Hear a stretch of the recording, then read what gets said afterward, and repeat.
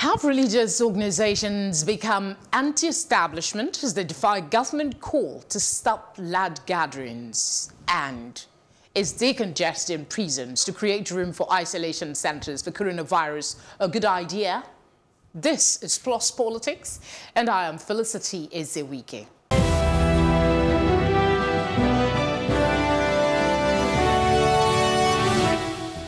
You're welcome. Some religious centers went ahead to hold their normal Sunday services after the Lagos state government banned all gatherings with over 20 people in physical attendance. The government had taken this step in order to curb the spread of the COVID-19 pandemic that has cost over 14,000 deaths globally. Should the message from religious leaders be one of defiance at this time? Joining us in the studio are two gentlemen. Uh, we have Apejoye Oluwole. Thank you very much for coming on the program. Thank you for having me. And of course, uh, Sam Adeleke, pleasure to have your company. Good evening. All right, let's start with the idea behind the um, less than 20 people. Most people seem to agree. Why do you think some churches at this time choose to flout this order? What should be government's reaction? Let's start with why. First, I think it's unfortunate that um, what religious um, preaches is that is um, adhering to the strict law either of God or of the government or of an elder. If the government have said that, look, first that information that it was reduced now to 20 came very late. One, that when it was even 50, ordinarily I thought it could have been just no religious gathering. Saying 2050, again, you are giving room for amendments from, to maneuver.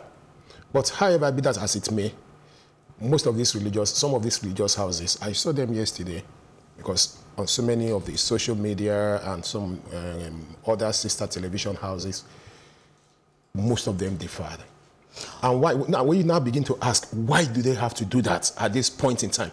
Are they not supposed to be part of the crusade for a safety Nigeria or for a safer Nigeria?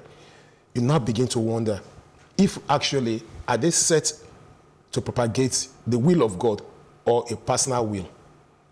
Because a, pop, a very popular church, even though if not in Lagos, but in Ogun State, went ahead if the auditorium is about 50,000. But we really would find, take time to x-ray this, but I want to ask you, Sam, what should be government's reaction to this? Because we do know that they were able to enforce the ban in certain areas, and then we have key um, uh, officials, like he mentioned, the um, the Winners Chapel, uh, we also had the very popular bishop um, David Oyedepo, among others, holding normal service with a church capacity of over 50,000 people.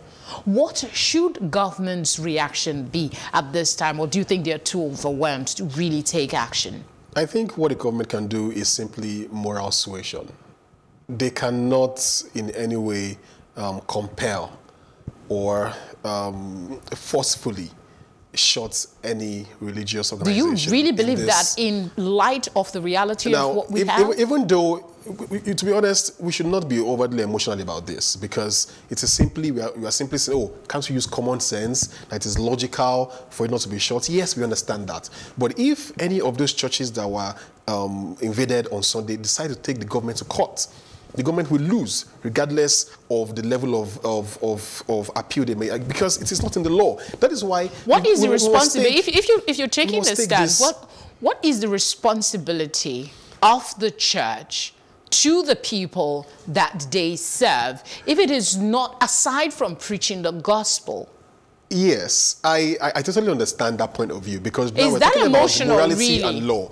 And yes, because we're, we're simply telling people that, oh, because there is an epidemic, there's a pandemic out there, please stay away from large gatherings. Please obey the law of the land. And to be honest, we are correct because if the church and the mosque we are preaching that oh obey the authorities be obedient and then you are not obedient that is that's that's another kettle of fish entirely but we are saying now that what government can do is simply to engage these leaders these people who have that level of influence and not use force because it's a game of of of, of um, influence here the pastor is, is telling you that by the by the grace of god you will not be infected you are blessed prophesying and then the government is saying no don't just do that alone. We can do that online. You can do that via the platforms that are available. You know, so it, it, it, it's, it's about engaging people and letting them know that, oh, okay, I understand the responsibility you have because the, man, the, the, bishop, to quote him, he said that in times like this, the church should not be shut. That it's like an hospital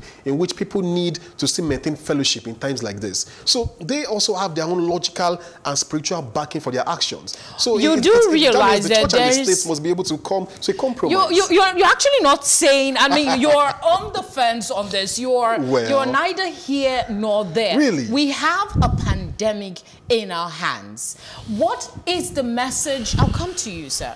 What is the message that our religious leaders should be passing at this critical time, knowing fully well that we have other countries where an imam, let's take that instance, right. went to church, I mean to the mosque, had over 40 people, and then the case of that country, I can't remember the country now, spiked overnight because one person chose to go to the mosque as against staying at home in these uncertain times? To what be, message yes, should you know, they be sharing? To, to be, the message is clear, really. Stay back, stay safe, be socially distant, and let your personal hygiene level be, be, be on point. To be honest, that is the clear message. And we cannot in any way dissociate ourselves from that. All right, let, let me, well, what worries first, you most about you see, What worries me most is the total disobedience to law by some of these uh, uh, uh, uh religious clerics, more especially the Christian fold now.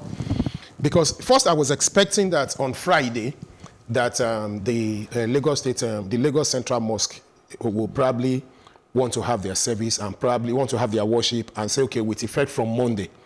But immediately that law was, uh, the, the, immediately that pronouncement was made by the government, all the mosques where they have Jumat all over Lagos that I monitored, they all shut down. At the Lagos Central Mosque, there was an inscription that because of this, this government, blah, blah, blah, that please stay at your home and and have your uh, uh, um, Friday Jumat. And everybody, you see, to my greatest surprise, even some mosque that wake us up in the morning, I even realized that it is only the probably the uh, imam that only give the uh, morning prayer, and people even stay in their home. So if the, if this, so I'm, and this is a plus to the Christ, to the Muslims, sincerely. But the Christian, I don't know what is wrong with our religion. I don't just know. We went out of band. As far as I'm concerned, it's, it's, I have had so many arguments that it's because it was not a law, that it was just a pronouncement. Are you saying that if the, that the government uh, in a state or in a local government does not necessarily need a law? It's just a pronouncement. Except if you now start going into the legal, the, the deep into legal aspect, they will say, okay, which law backs you up? But I think a mere pronouncement by the governor should have, or should have, or by the local government chairman should have helped this situation. I, I, I think, and most of the churches that do, that does this, they are the, they are the place that some of these people they felt they are more than, they are larger than even larger than even the governor or wherever, because these are some of the these are some of the uh, um, overseers that goes on a long entourage of escorts Okay, I mean, let's let's not um, um, um, get distracted from the issue. Uh, let me ask you. I don't know why I want to ask you this question, but there are those, there are folks who still believe right. that the COVID nineteen mm. is a hoax. What do you say to them? Uh, please look at the numbers and look at the news. This is real. It is not a hoax, and um, the numbers are rising on a daily basis. Now, why is this the case? It is simply because of the poor level of leadership we're having at the federal level. Because we know how things are done in this country. When the election is coming closer, we know how the machinery of government is deployed across board. We know how campaigns and publicity are done across board, in which you know that, oh, this is a season of elections. But we have a president who was even forced to announce to us yesterday and even uh, made blunders while doing that. So people are like, okay, what's happening here? We, we saw what the governor of Abia did, telling us that Abia State was mentioned in the Bible. You know, so we have a disconnect among the leadership in the land, in which some are saying yes, some are saying no. So until we have that united front from the elites, people will still keep doubting this. But to be honest, as we all, as we all see, this is real. This is not a joke. Okay, still staying with messages. I want to come back to you because you. I don't think you've actually answered that question. You skipped Come it. on. President of CAN. Yes, um, Reverend Samson Samson. Ayokunle. Um, on Sunday, gave a sermon. Let me see if I can find some of what he said. He said that arrogance of humans against God and constituted authority was responsible for the COVID-19 pandemic. He went on to say that there is need for mankind to have a change of heart from their wickedness. Again, I ask you, is this the kind of messages that should be promulgated and sent to the people at this time, particularly people as prominent as men like the very Reverend Felicity, you, you isolated the part where he also said that people should maintain personal hygiene, wash your hands, stay safe, and all that. See, the job of a pastor is to preach. He's the president of CAN. He has a congregation and he is a conveyor of hope. He is supposed to let people that know that this is what like hope God tells because us. what it Because- sounded like was So uh, every everyone now please note there are conspiracy theories across the world. No, this is so about- in, in which in which people are saying that uh, it was a lab that was blah blah blah blah blah from Wuhan and all that. A, a- a man of God will tell you what God has told him, unless we are now disputing his calling. The imam and the chief um, uh, missionary for for for NASFAT, we also say I- what I, am he I was told. something because what the question, what he said about Yes. arrogance of humans that caused this pandemic. I want to hear your thoughts. He has this. not said God told him. You understand? Because I, I, I, I read it over and over again. He didn't say God told him that this. He was just saying that, okay, it is not normally that what, what they will say is that if anything happened, they will say, yes, it is because, because of your disobedience to the words of God, because you are not following to the, you are not following the will of God uh, um, to later. They will always come up with this God, God, God. But in the simple truth, in the first place, let me tell you, he is saying it from the from the Christian angle. The same thing a Muslim person will come up and say it from the but from a normal angle, as far as I'm concerned, there was look, either you worship God or you don't worship God. There are times you will seek, and there is time you will you, you, you, you, you, you will be well. If at this point in time we have a pandemic that has been declared an epidemic, you understand? I think what everybody should do is that this it has nothing to do with religion this time. On your religious angle, yes, you'll be praying, but let us listen to what the government have said and let us follow what the government have said. This is it is as simple as that. It is not coming up to say that no, that you don't have a right to do this, that we have a right to do that. I mean, this is the time that we must all there must be a concerted effort. let, let, let me flip this conversation on its head and also act as a devil's advocate right now. Um, there are those who say that the manifestation of this pandemic is God's design. It's not. Like the pastors are saying, and they are citing the fact that the air, the, I mean, the pollution level has reduced since there were reduced activities of human beings, that we are the one that are polluting the environment. They also went on to talk about um, that the almost total stop to insurgency and um, terrorism. These are what they are citing as confirming what these pastors um, are saying. Let, let me ask you, what do you say to that? I'll put the same question to you. Say, as far as I'm concerned, this have nothing to do with um, either gods or whatever. You see, it's just like when, it's just like sometimes when you are when when you are when you are working, if business is not going, it's not because you're not worshiping God enough. It's just sometimes when you when you fast and pray and you see find that the thing, the same thing you are praying for is not working. It's not because God hates you at all. This is this has nothing to do with God. We, you see, just at everything, we are always looking for excuses to cover our lapses. Sam, what do you say to this? I am a Christian and I believe in God. I believe strongly that what is happening right now in the world is a strong message from God to the world. Even the United States, which is the number one uh, world power as we speak at the moment, declared a national day of prayer.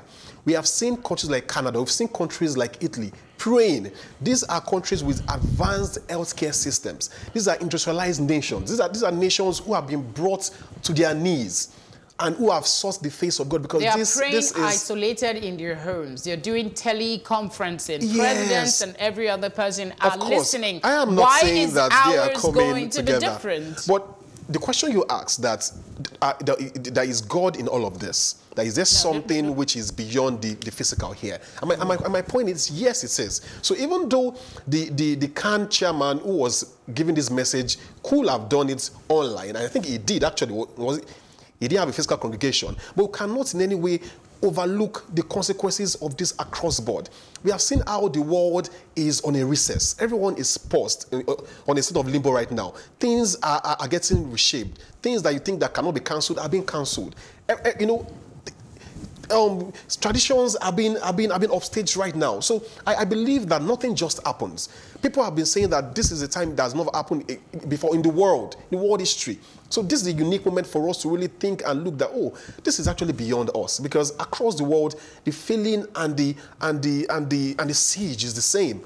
You All know. right, let- let's um, uh, move on and continue with other developments um, in Lagos State. Um, still on Sunday, the Lagos Island, uh, mainland, I beg your pardon, uh, local government environmental health team dispersed worshippers. Um, like I said earlier, they were, dis- um, they were enforcing the uh, minimal gathering of uh, 50 uh, faithfuls. And not only in the church, though. They also went to some on, in other They places also went to some social parties. gathering. We saw some news about um, disrupting parties. My question is, though, um, some were arrested. Should they be arresting at this time, considering the fact that you know the prisons right now are congested and you're introducing new unknown uh, variants to the people that are already there? First, what is the what is the what is the stand of the government when it concerns disobedience of law? Is to be uh, is it's arrest. So I don't think the government, either the police or whoever that have arrested, I don't think they've gone. I don't I don't think they've done anything wrong. The reason why you arrest is because of that fact that you have done something wrong.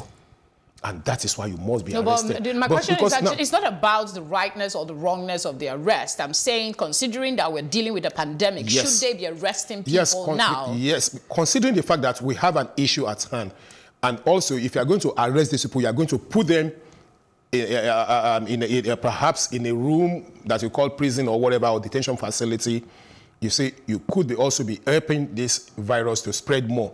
I think what they could have done is to seal up this place and charge them to court The IGP has not, actually. not to arrest because what we should do is that we must try as much as possible at this point in time to reduce the number of people we clamp into our jail. Yeah, if you just oppose this to the IGP's um, caution that people should minimize social calls to um, the police station, as well as uh, not every offense they, um, should be uh, people should be arrested uh, for every uh, offense. Um, um, should they really be doing that at this time?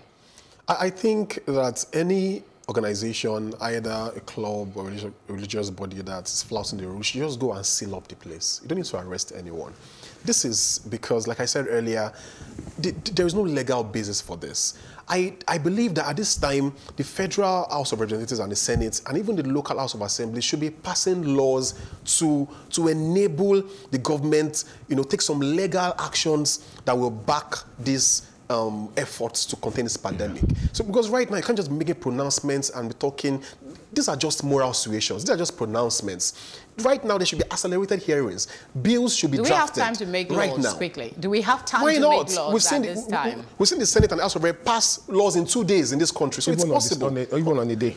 In a day. So I believe right now, in this one two weeks, the House of Assembly should be sitting and passing laws to enable, you know, money being released, to enable people being thrown into jail or being or being um, um, sued if they disobey the laws You, you that are to, being. I don't know. Is it, it just me or we, we are missing the fact that this is an unknown situation. We're adjusting as we go. This is we're not the first country to experience this. But other countries are making efforts right now. Current, as you speak right now, the, the, the, the, American Senate is debating a law to Release pass funding. You get two, two trillion dollars stimulus into the uh, into the American economy. So the question is, what is the Nigerian government doing? Nigerian Senate, House of Rep, and even the Lagos House of Assembly. So these are things that should be done, not just talking and just making. Perhaps various you know, Final Assembly. thoughts on this.